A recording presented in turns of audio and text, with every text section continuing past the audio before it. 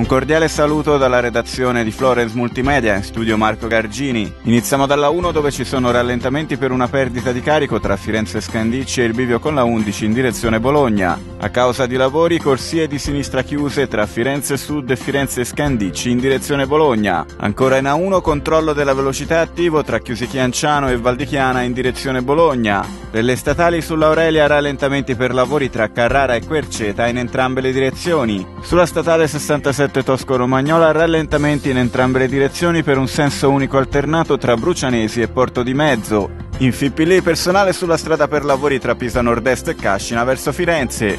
Muoversi in Toscana Inf, un servizio in collaborazione con Regione Toscana, Città Metropolitana e Comune di Firenze. Buon viaggio!